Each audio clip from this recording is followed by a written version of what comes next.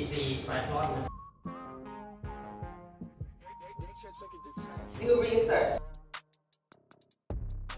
รองเท้าวิ่งควรจะเป็นในแบบไหนบ้าง ก็ต้องมีเบสิกต้องมีฟาวเดชั่นก่อนค่ะ